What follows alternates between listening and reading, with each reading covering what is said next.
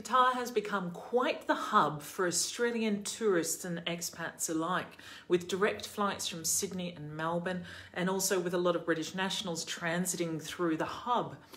Um, Marise Payne, the Foreign Minister of Australia, has expressed that she's disgusted, the, disgusted at the reports that women were taken from uh, boarding a flight to Sydney and forcibly examined uh, to discover whether or not they'd had a child recently after a baby was allegedly found in airport bathrooms. Now, this has been denounced as a great violation of human rights against foreign nationals and Australian citizens. It's currently under investigation by the Australian Federal Police. So we look forward to the outcome of any inquiries that are made.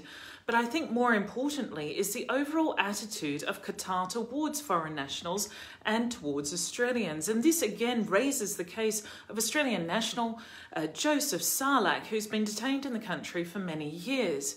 Now, he's still in Qatar, even though he's been proven innocent of allegations of wrongdoing made against him. Now, the Australian government has been quietly working with him for a while, but no serious steps have been made to diplomatically secure his freedom, and requests from the Australian government are falling on deaf ears in Qatar. Now, this same predicament is happening in the United Kingdom, where diplomatic efforts are not strong enough to secure the release of citizens in Qatar who are currently being detained without cause. And this is not a situation where governments should stand by and say, we don't get involved in foreign judicial systems. This, these are clear situations where the evidence fully exonerates the citizens who are being held in Qatar. And that means that they can get involved in a foreign system by way of diplomatically raising an injustice with their counterparts. Now, given the strong relations between Australia and Qatar and Britain and Qatar, you would think that they would be able to exude that sort of pressure or incentive or otherwise to protect their citizens. Now, the fact that Qatar has felt confident enough to violate the rights of many Australian citizens on this flight to Sydney shows the kind of overall contempt and disrespect that Qatar has for the relationship with Australia and Britain. And that's something that those two Western countries need to fix before they can safely advise citizens that it's okay to travel through Qatar. Now, this incident is very disturbing and I, think afterwards it's really going to impact Qatar's saleability as a tourist destination, but also as a transport hub.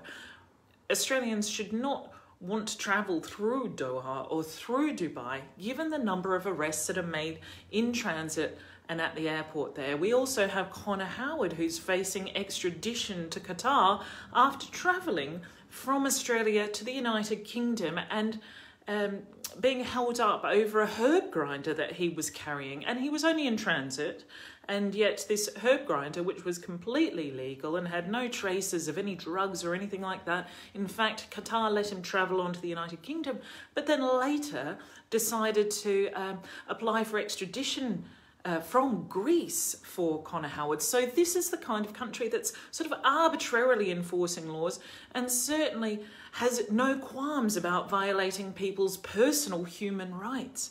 And this is something that we really need to be um, concerned about. And I think that Australians and British alike should consider boycotting Doha as an international transit hub. And the same goes for 2022. Unless we can see some serious changes in Qatar, it's an unsafe place to be. Hi, Connor.